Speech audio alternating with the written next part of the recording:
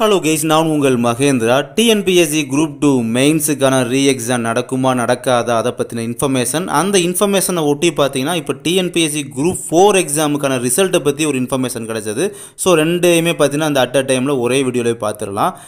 First வந்து TNPSC group two மெயின்ஸுக்கான குளறுபடிகள்லாம் நடந்தது. உங்களுக்கு தெரியும் நம்ம சேனல்லையும் நிறையா சேனலில் பேசியிருப்பாங்க. நம்ம சேனல்லையும் சொல்லியிருந்தோம்.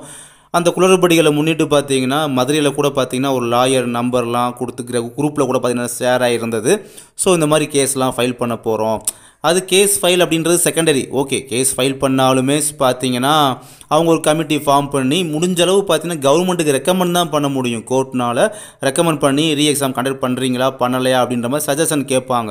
ஸோ அதெல்லாம் செகண்டரி அதெல்லாம் நடக்குதா எனக்கு கூட தெரியல. முதல்ல கேஸ் ஃபைல் ஆகுதா அப்படின்றது கூட இன்னும் தெரிய வரல. கன்ஃபார்மாக தெரிய வரலை.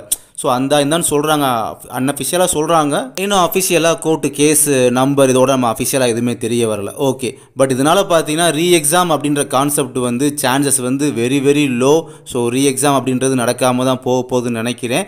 பட் இருந்தாலுமே இந்த கேண்டிடேட்ஸ் விருப்பப்படி பார்த்தீங்கன்னா சில கேண்டிடேட்ஸ்லாம் ரீ எக்ஸாமுக்காக விருப்பப்படுறாங்க. ஏன்னா பாதிக்கப்பட்டிருக்காங்களா? ஸோ அவங்க என்னப்படி எல்லாமே நல்லபடியாக நடந்தால் நல்லது தான் ஓகே இந்த இன்ஃபர்மேஷனை பேஸ் பண்ணி இப்போ நம்ம குரூப் ஃபோர் ரிசல்ட்டை பற்றி என்ன இன்ஃபர்மேஷன் கிடைச்சது பார்த்தீங்கன்னா இப்போ இந்த குரூப் டூ மெயின்ஸில் நிறைய குரடுபடிகள் நடந்துச்சு பார்த்தீங்களா? இதை சமாளிப்பதற்காக சரி கட்டுவதற்காக பார்த்தீங்கன்னா குரூப் ஃபோர் ரிசல்ட்டை உடனடியாக விட வேண்டிய ஒரு சுச்சுவேஷன் அவங்களுக்கு வந்து கிரியேட் ஆகிடுச்சு ஸோ அதனால் குரூப் ஃபோர் ரிசல்ட்டை ப்ராசஸ் வந்து குயிக்காக போகுது. அதனால் மார்ச் செகண்ட் வீக் எப்போ? மார்ச் செகண்ட் வீக் எண்டிலேயே கூட பார்த்தீங்கன்னா குரூப் ஃபோர் ரிசல்ட் பப்ளிஷ் பண்ணிடலாம் அப்படின்ற இன்ஃபர்மேஷனுமே இப்போ கிடச்சிருக்கு. ஓகே இந்த மெயின் இஷ்யூவை ஒட்டி இந்த குரூப் ஃபோர் ரிசல்ட்டை பற்றி ஒரு இன்ஃபர்மேஷன் கிடச்சதை அதை ஷேர் பண்ணுறது தான் இந்த வீடியோவோட மோட்டிவ் தேங்க்யூ